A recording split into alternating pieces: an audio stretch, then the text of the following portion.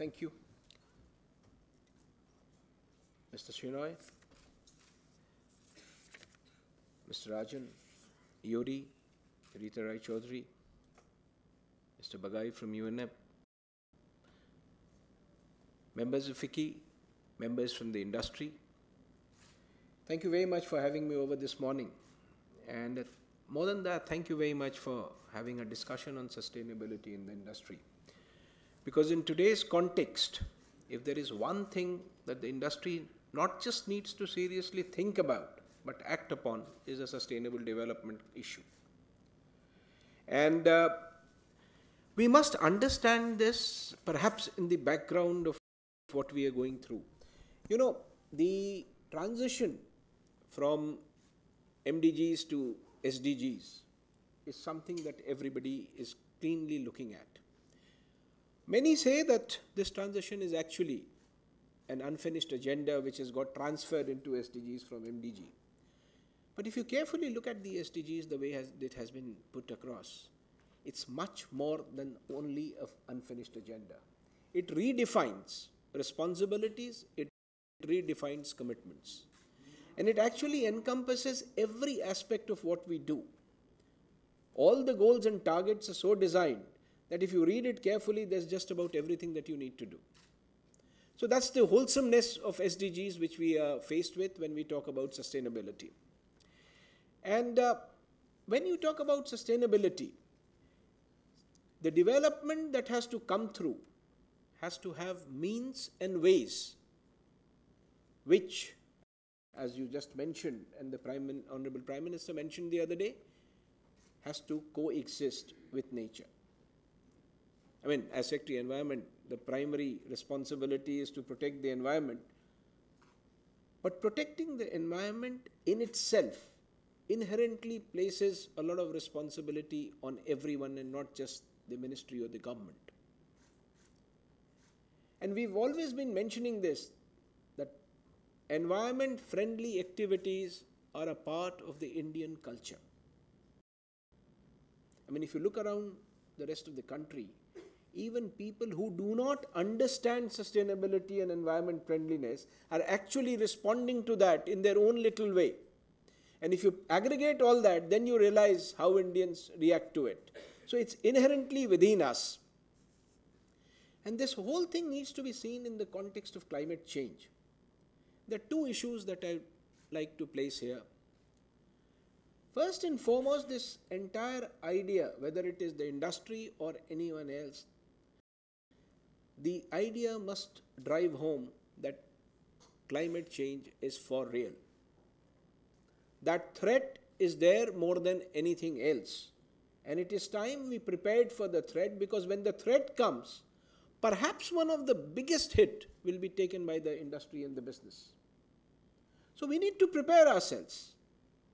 We need to put ourselves in a position where we can actually try and see what is the minimal damage and risk that we have to ourselves and mitigate that risk to the extent that we can. You know, having seen that the climate change is real, and I don't see it happening in, even in the global context, it's not just an Indian phenomenon, it's global. Globally, we are talking about reducing temperatures by 2%. To be very honest, the way we are moving, if we do even 1% plus, it will be a, some kind of achievement Hopefully, there will be better things happening in the near future. But as a country, we have very, very strong commitments which we have made in terms of the NDCs that we have spelt out to the world. And those commitments are to be kept not just by government but also by every individual of this country because they are national commitments made to the globe. And industry has a very, very vital role to play in those commitments. And, uh, you know, we have commitments of reducing emission, we have commitments of increasing carbon sink. All that has to go hand in hand with greater, what they call green responsibility lying on everyone. And the problem is that if you look at India and the development story, the development imperatives of India are far stronger than many, many countries in the world today. And as a government, as a community, as a nation, we are committed to achieving those development goals. We need infrastructure, we need industries, we need manufacturing, we need production. We certainly need to reach out to people in the rural areas with electricity. But all this will have to happen in what is termed as sustainable development. I'll give you one example. Let's look at the energy sector, for example. We keep talking about 300 million people in India still not having the benefit of electricity.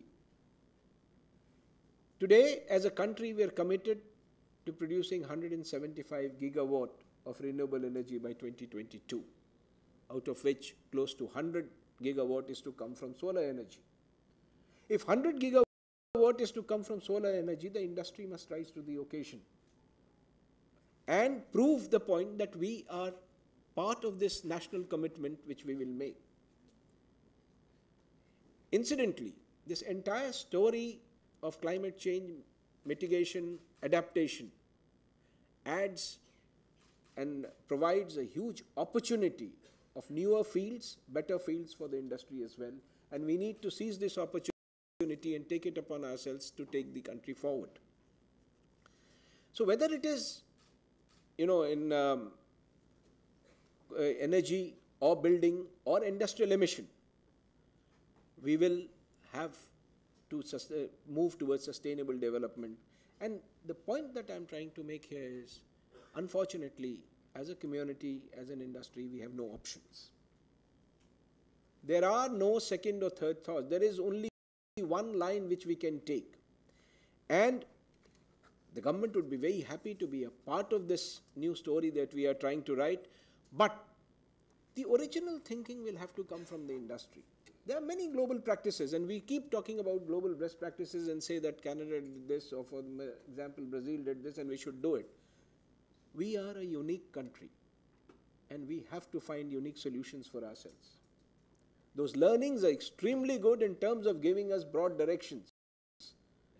But when it comes to actual implementable facts, India will have to create its own path. And that is going to come from the business and industry. Because you must have uh, to be in a position where you can innovate in order to create this new path that we are looking for. The government certainly would be standing behind you on every turn to handhold and see how we can facilitate that. So, the role of industry is not just in reducing emission. That's, that's a primary thing that we need to do. But we are also looking at technologies and innovations where one does not have to keep bothering about how we keep reducing our emissions. We need to have greener technologies working in this country, and greener technologies are there. But let me at this point of time also say, since UN representatives are here, that whenever you go for a UN meeting, you say that India must do it if the world has to do it. India will do it. But let me tell you, we are still among the lowest emitters in this world. We as a country have made this commitment that we will try and write off some of the mistakes that have happened by other countries also in the past. So India has taken on greater responsibility than what we thought we should. But having said that, our development needs are huge and therefore the vehicle has to move very fast. So there will be a lot more industrialization happening, there will be a lot more infrastructure happening, a lot more in energy happening. That is why the country needs to be extremely cautious that we do not disturb the environment when we move on this path of development. Uh, I'll give you one example. Thermal comfort. That's one critical thing that we are looking at. And that I'm giving this example particularly because I want to make a point that if the industry so decides in India, it can be the global leader. Today, let's say in thermal comfort, let's talk about air conditioning. The total penetration in India is about 4%. So naturally this is going to go, go up. And as government, as uh, industry, It's our commitment to provide therm thermal comfort to everyone in India. So this is going to go up. But when it came to shifting from one kind of emitting gas to another, from CFC to HFC and to CFC, we took the lead globally. So that is the kind of commitment the Indian industry has and Indian industry needs to show in other aspects as well. There are many concerns in the industry which I must flag this morning on various notifications that the government does, whether it is with the municipal solid waste, e-waste or plastics. We do appreciate the problems of transition in all this that the industry has to face. But we must together understand what I mentioned earlier that there are no shortcuts and there are no options. The sooner we adopt, the sooner we adapt, and the sooner we get used to newer technology, the better it is going to be for all of us. Two critical elements which the government would try and solve for you is technology and resource, both at a country level as well as at a global level. So if we can bring these things together and create an atmosphere where we are looking only at newer technologies which do not impact the environment, we will be doing a huge, huge service to the nation. And, you know, issues like global reporting initiative, I think the industry should come forward and adopt it more and more because that's about transparency. That is how you send a message globally that the Indian industry is willing to take a lead and is in a position at a launching pad where it can take a lead. And as a, such a large country, there is no reason why we should not take the leadership role. And that is what I urge the industry to join us for. And uh, the corporate sector in India has been doing its job extremely well. But we are also conscious of the fact, and the corporate sector is particularly conscious of the fact that what we've been able to contribute is just a little bit and we need to do much, much more. The path is well defined, whether it is CSR, whether it is I mean, extended producer's responsibility, I'm sure the industry will stand up and do its bit. It's a critical issue.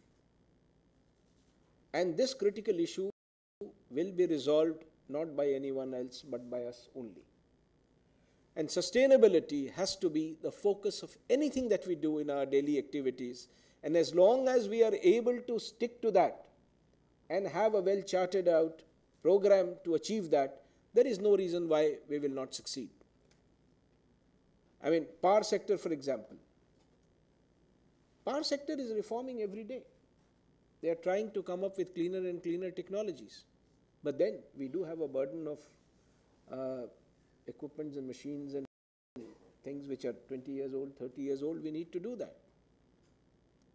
So, what I am advocating today and what I am requesting everybody to consider today is change. As long as we can bring about change and push a new agenda, we will all be together in doing this. And one request I would make at the end to FICCI and everybody in the industry here. This is the time to come forward and do far more for greening India than you have done before. I am not even talking about big things that we need to do. Good greening local initiative will put us far ahead of anybody else. And I think that is completely doable and time that organizations like FICCI put all their members together to see how they do it. Particularly since we are talking in Delhi, let us do something about Delhi.